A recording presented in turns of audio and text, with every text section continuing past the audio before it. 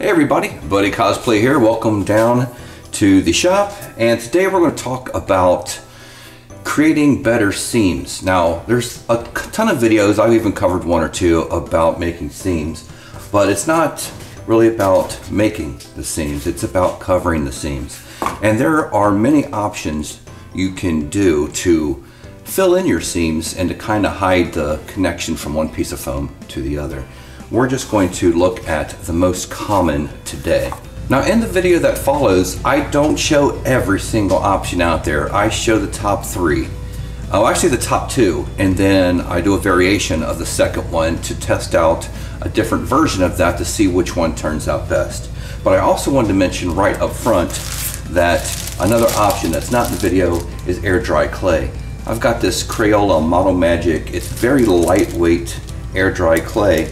And when you have a big seam, you basically take a bit of it, you roll it out to like a thin tube, and you put it down in the seam, you flatten it, you can use wet finger to kind of get it nice and smooth. And once that's dry, you can sand it a little bit. Just be careful not to mess up your foam. So if you want to try something like this, it's a great choice if you don't have access to um, the stuff we're going to use today. But this is not the cheapest. That's why I didn't really put in the video. As far as the cheapest, that's what brings us to the, the two top options that we're going to use. And the first one is when people put things together when they're first starting out, oftentimes they don't have the budget to purchase barge rubber cement or Weldwood rubber cement. Um, you can buy smaller tubes, but as you start to build things, uh, you'll require a little bit more of that contact adhesive. So a lot of people that are just starting out will like to use hot glue. Hot glue is affordable, it's easy to use, and it's great for beginners. Um, it's inexpensive. I think I already said that. But the thing about it is where the top of a seam lines up. Let me get some, here's some stuff. If you use hot glue, a lot of times you'll have a seam that's kind of open like this. And that's because people are afraid to put hot glue along the the entire part that they're connecting because you will get you will get let me find out you will get overflow such as this. It'll squeeze out. And no one wants that on their finished product. So they'll tend to put it down in the center and on the bottom only. And when they stick it together the top is just not sealed as flush as you would like it to be. There's always some little cracks. Not always but uh, it's just something that happens a lot with people that use um, hot glue. So we're going to look at how hot glue performs as um, covering seams, as a way to cover seams, and we're also going to look at how our Kwik Seal holds up against it. This is what I use often, but by the end of this video you'll see that I'm going to move on to something different. So let's test it out, see what we get.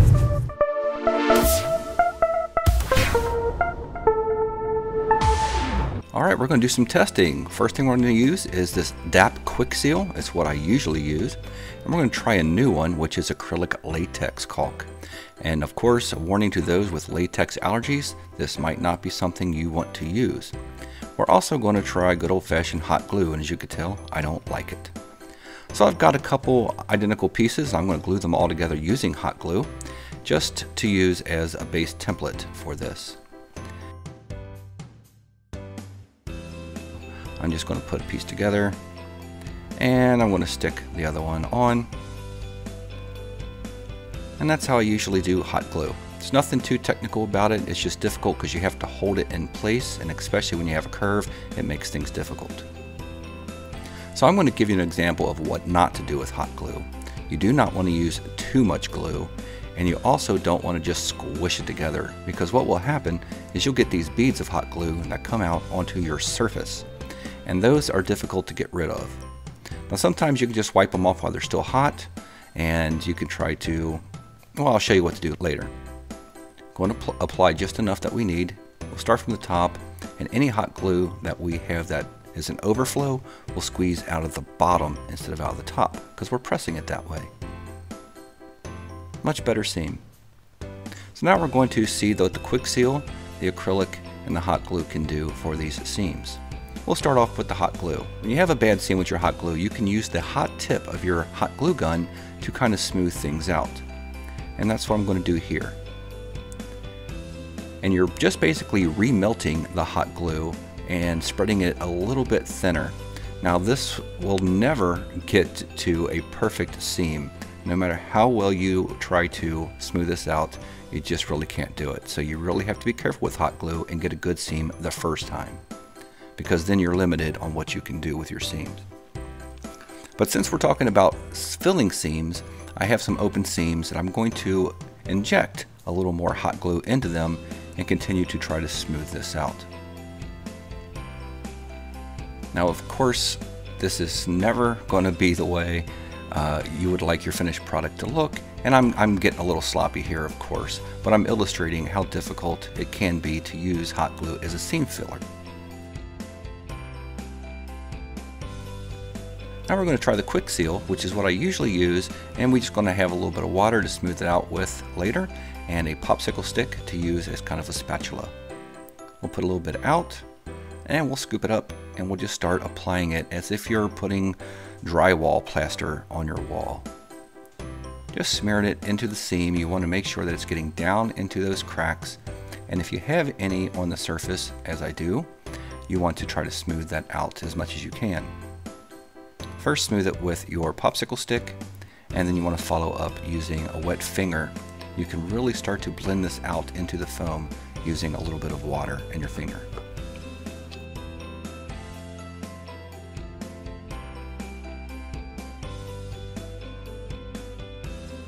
And when we're done with that, we'll set it to the side. Now we're going to try the acrylic latex caulk.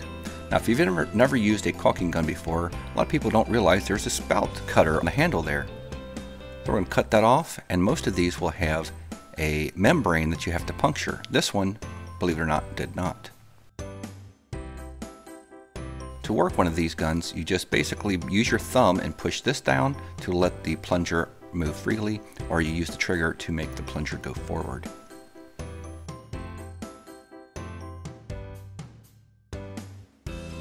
So now that we've got it all set up, I should have probably put this on paper and used my popsicle stick and used less, but I got, I got carried away just because I wanted to show the limitations on what you've got with these tubes.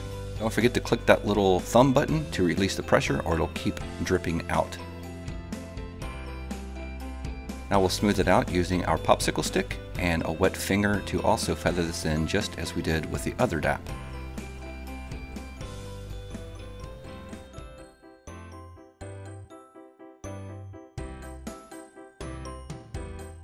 Don't forget to plug the tip of your tube if you're using this because it will dry overnight. I usually put a big bolt in it and then I'll even cover it up with a little bit of duct tape just to kind of make a good seal. We're going to give this 24 hours to dry and cure and then we're going to come back and do a second layer. I'm going to do a layer for all of them and we're going to make sure everything's as smooth as we can get it with our finger. There's not much I could do with the hot glue so I'm just going to let it be. The next everything is cured and now we're just going to begin testing on the sanding aspect of this stuff. We're going to start with the regular DAP that I usually use and I know it has its limitations with sanding. That's why it's important to get it as smooth as possible with your finger.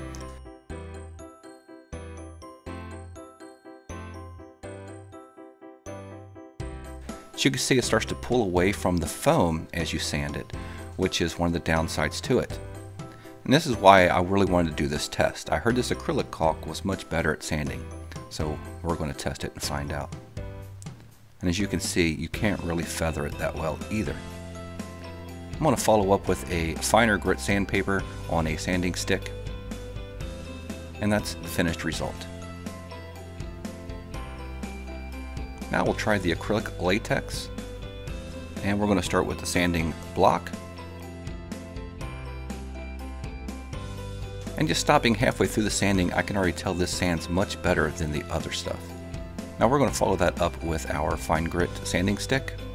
And the end result is you can see that it feathers much nicer and it is a much smoother result compared to the original DAP that I've been using.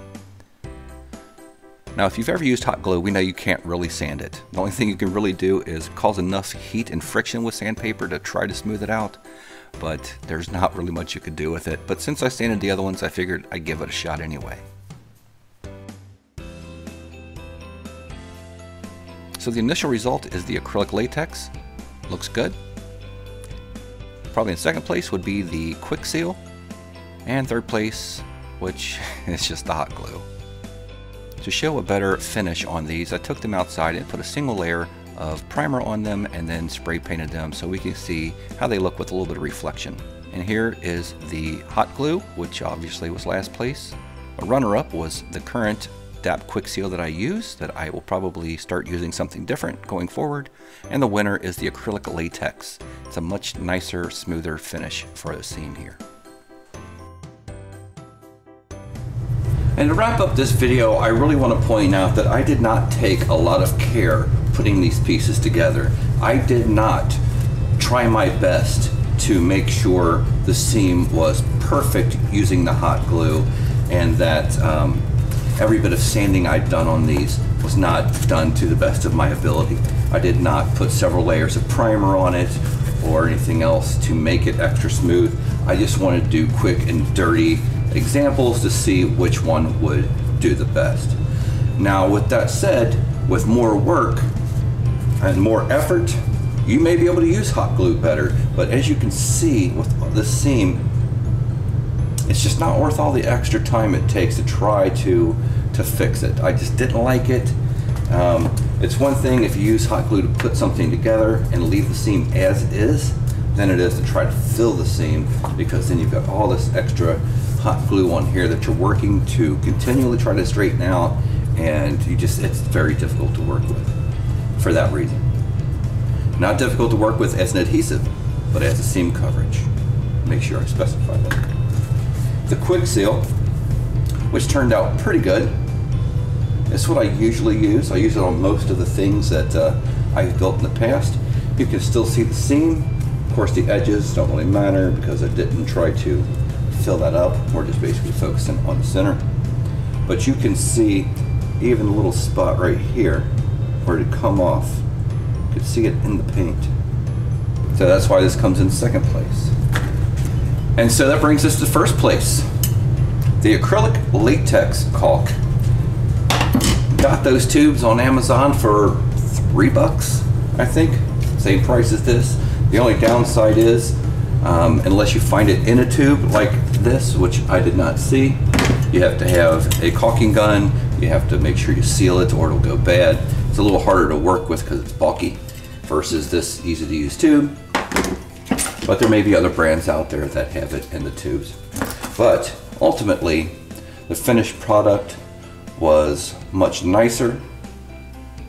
It was easier to sand after everything had dried. It actually sanded without starting to come across come off at the edges or to chip off almost as the regular DAP did in this area. So that's the winner. I am going to start using this going forward because this test showed me that this would make my life a little bit easier with creating better seams, covering them up versus what I have been using. So that's why it's always good to do tests, try new things, and see what you can uh, come up with that might make your cosplay builds a little bit easier. And just to re-mention the air dry clay because we mentioned this at the beginning, if you have not watched the Zoom helmet build, I'd recommend you going to do that. I recommend you to go do that. I recommend that you go do that. I'm having a bad day today. It's Monday. I'm recording this on Monday. Should know better. But I recommend you going to check out the Zoom helmet build because I use this and you can see how well this can be blended in with your phone. I actually have the mask right here. Now in this mask, in case you don't want to go watch the video, you can see I wanted to see how much extra detail I can add that I can't get from just bending foam with heat. So I took some air dry clay and I made little ridges and I blended it in with my finger.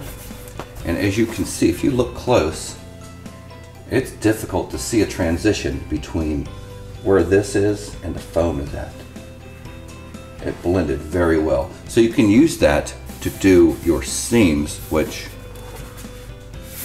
I don't remember if I did that with these. I may have just used the DAP for these seams, but have to go back and rewatch that video.